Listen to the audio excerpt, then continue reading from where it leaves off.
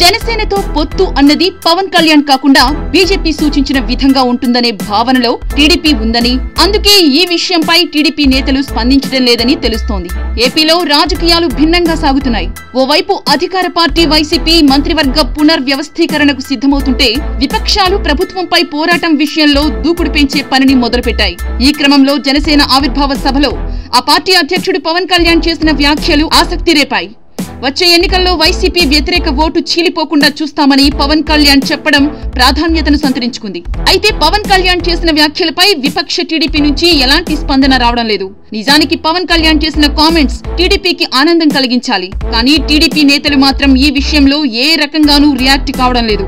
ఇందుకు కారణం ఏంటనే దానిపై కూడా ఏపీ రాజకీయ వర్గాల్లో చర్చ జరుగుతోంది. పవన్ కళ్యాణ్ పొత్తుల గురించి చేసిన వ్యాఖ్యల్లో అర్థం వేరుగా ఉంది. ఒకవేళ వైసీపీ వ్యతిరేక ఓటు చీలకుండా టీడీపీ బీజేపీ జనసేన మధ్య పొత్తు కుదిరినా పెద్దన్న పాత్ర మాత్రం తమకే ఇవ్వాలనే యోచనలో బీజేపీ జనసేన ఉన్నట్టు కనిపిస్తోంది. రాష్ట్రం బాధ్యతను తాను తీసుకుంటానని పవన్ కళ్యాణ్ చెప్పడం వెనుక అసలు కారణం కూడా ఇదేననే చర్చ జరుగుతోంది. రాజకీయంగా జనసేన ఆ పార్టీ అధినేత పవన్ కళ్యాణ్ను డీల్ చేయడం అపార రాజకీయ అనుభవం ఉన్న చంద్రబాబుకు పెద్ద కష్టమేమీ కాదు. కానీ పవన్ కళ్యాణ్ ఇప్పుడు ఒంటరిగా లేరు. ఆయన బీజేపీతో మిత్ర బృందంలో ఉన్నారు. బీజేపీ రోడ్ మ్యాప్ ఇస్తే ఏపీలో వైసీపీపై పోరాడతామని ప్రకటించారు.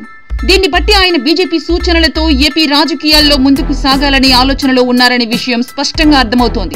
దీంతో జనసేనతో పొత్తు అన్నది పవన్ కళ్యాణ్ కాకుండా బీజేపీ సూచించిన విధంగా ఉంటుందనే భావనలో టీడీపీ ఉందని అందుకే ఈ విషయంపై టీడీపీ నేతలు స్పందించడం లేదని తెలుస్తోంది. ఈ అంశంపై నేతలు ఏది మాట్లాడినా ఆ తర్వాత అది లేనిపోని తలనొప్పులను తెచ్చిపెట్టే అవకాశం ఉందనే భావనలో టీడీపీ నాయకత్వం ఉందని అందుకే ఈ విషయంలో మౌనంగా ఉండాలని పార్టీ నేతలకు సూచించిందని రాజకీయ వర్గాల్లో చర్చ జరుగుతోంది.